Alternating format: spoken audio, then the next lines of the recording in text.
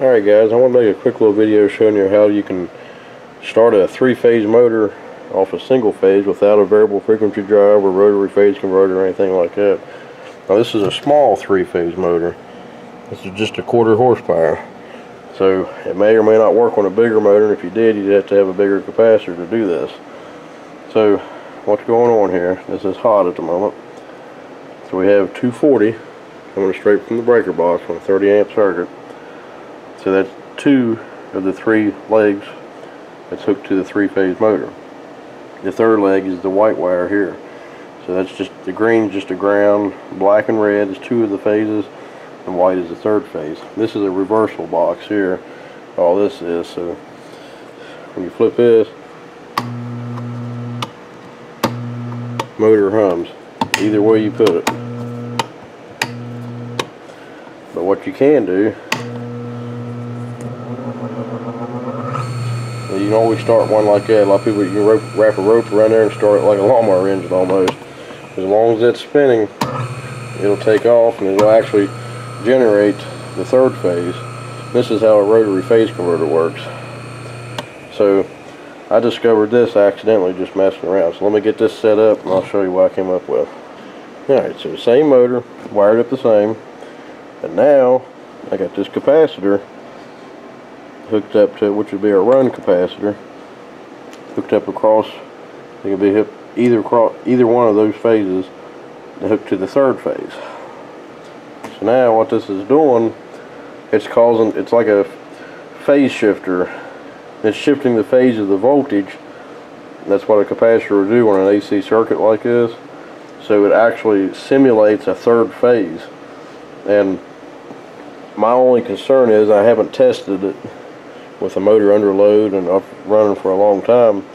I don't know if this is would actually cause damage to the motor like overheating or anything or even the capacitor for that matter but it, you can still reverse it by switching two of the three phases around on the motor side of it. So if you had this set up as a uh, like on a momentary switch hooked into this and just use it for just starting it. That might be your safest bet but uh, it will work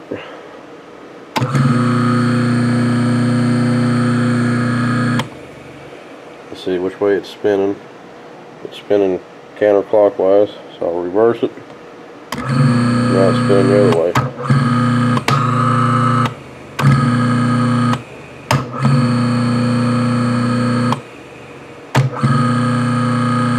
So you reverse it while it's spinning too, but you do If the capacitor is discharged when it does it, it'll, it'll like run at a slower speed. Now I don't know how this will affect startup torque or anything like that. The capacitor's still cool. The motor's cool, but I know just warmed just for a few seconds just to show you. But So here it is hooked up to the fan side of the capacitor, which I'm sure is a lower setting because the fan is a smaller motor than what's in the compressor part of the outside unit. So now it acts, it sounds calmer, I guess you could say. I left it running for about five minutes and it got pretty warm. So I'm going to guess that that was probably the wrong setting on there. So now, when you start it, it's probably not the way it's supposed to start. But it won't reverse while it's running now. So it's not quite enough capacitance to do that. As soon as it stops, it'll start in the other direction. So that might be a better choice. Like I have no evidence that this is going to work for long-term use. It might just be just like a bench test thing, you know. So I don't know.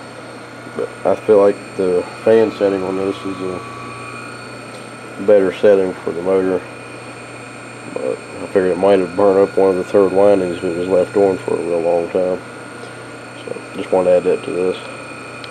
If anybody's got any more information on this, if it's something that's commonly done, which I've never actually seen it anywhere, uh, this could eliminate a uh, variable frequency drive on say like a drill press or a grinder or even a small lathe or something if you had a three-phase motor like this. Now I tried it on my big green three-phase motor which is a 5 horsepower and it wouldn't do nothing. It wasn't enough to do anything. So if this actually is a thing there'll be a chart available somewhere for showing the capacitance value of it. Now, I did hook it up to the uh, fan side of this capacitor and it worked but it took off slower So that's the uh, lower capacitance of it. So that's about a 35 microfarad capacitor. And obviously it's rated for 270 volts, so we're safe on that. And the motor sounds different with it hooked to it than when you unhook it. So I don't know if that, uh, like I said, I don't know long-term damage to the motor or not, but yeah, it's something you can at least test motors with. I mean, if the motor sounds right, that's the way a three-phase motor sounds when they're on. So, in the startup sound, it sounds like a three-phase motor too. It just takes off pretty quick. It's got a pretty good torque on the low end. So, no, it's just a just a little something I came up with. So, let me know what you guys think on it. And uh, if you leave a comment, I'll try to get back to you as soon as I can. So, thanks for watching, guys. We'll catch you later.